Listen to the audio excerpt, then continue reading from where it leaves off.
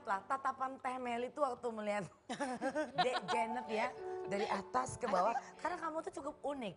Begitu juga Iya. kalau kita lihat penampilan dari Teh Meli kita ingin melihat secara keseluruhan ya.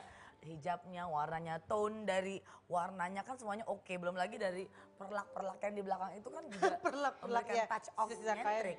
Ya Betul Kak Indi, Nah, iya. Dari depan, belakang, Temeli malah gitu. Setiap Temeli muncul nih Ah. aku selalu ngeliat, wah ini depannya seperti apa nih bajunya. Belakangnya kayak gimana, karena pasti ada sesuatu yang di balik itu tuh ada sesuatu yang unik lagi. Iya, betul. Yang tidak terlihat Tapi kita sebenarnya. tidak meminta pernyataan kamu sebetulnya di Oh, sini. tidak ya? Bagus banget loh, luar biasa loh.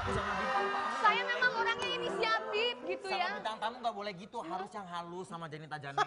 Maksud saya kasih tahu dong, John. Janet nggak repot-repot itu biar bagian saya. Hmm. Jadi jawab aja apa yang saya tanya, ya kan?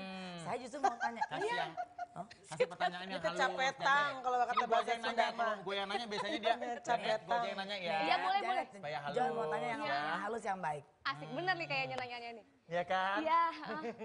Itu wig pinjam siapa lagi? Ya elah minjem. Bapak memang Suka halus. endorsean, suka endorsean. Bapak suka enak menyampaikannya, tapi nohok di sini loh. Iya nggak enak Ya. loh. Ini adalah wig yang keberapa yang kamu Ya. punya? Ini sebenarnya karena awalnya sih dari seneng, dari eh, lihat boneka-boneka kan lucu tuh ya warnanya. Boneka eh, apa kan ada troll, ada Chucky apa, ya? ada Chucky, tepatnya salah.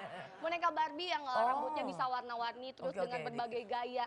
Pada saat aku eh, pada saat aku ngeliat Barbie tuh kok lucu ya rambutnya bisa warna-warni. Tapi kalau misalnya Janet rambut asliku digituin tuh kayaknya nggak mungkin. Sayang. Eh, oh sayang satu sayang Oh kedua. jadi ini bukan asli ya rambut Bu- kamu ya? bukan, Tapi ini kepalanya ini. asli kan? Eh, asli lah.